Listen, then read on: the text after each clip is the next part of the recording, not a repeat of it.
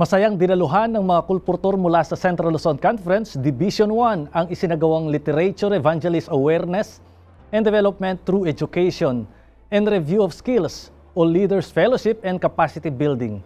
Ito ay ginanap sa pangunguna ng Central Luzon Conference Publishing Ministries Department sa ikauunlad at ikalalago ng paglilingkod ng mga butihing literature evangelist. Si Joan Mercado para sa Balitang May Pag-asa. Leaders Fellowship and Capacity Building isinagawa ng Publishing Department ng Central Luzon Conference of the Seventh-day Adventist.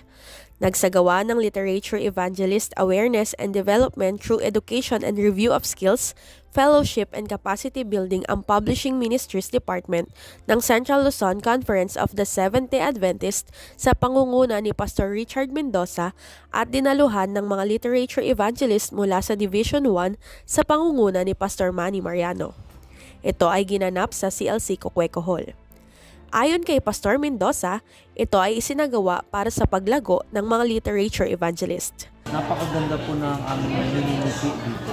Para sila ay matutunan nila kung ano ba talaga ang kanilang pagkatawag at yung pagkatawag na yun ay paano nila gagampanan yung kanilang mga uh, papel bilang mga literature evangelist na ang tanging layunin ay makapaglingkod sa Panginoon sa pamagitan ng paghikayat ng kaluluwa.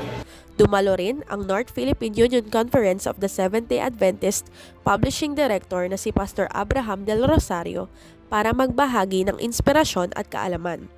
Isa sa mga nakinabang sa fellowship and capacity building na ito ay si Sister Rosalind D. Cruz na naniniwalang ang mga literature evangelists ay babalik sa kanilang mga gawain na encourage and empowered. Sa mga lectures at saka sa mga activities na natutunan namin ngayon, ang mga, sa mga ginawa ngayon, uh, kami mga LEs na sa pagbalik namin sa aming kanya-kanya mga church, ay uh, magawa namin ang aming mga gawain para sa adhikain ng CLC na discipleship. Layuning maghatid ng balitang may pag-asa, ako po si Joanne Nicole G. Mercado nag-uulat para sa Hope Today and PUC News.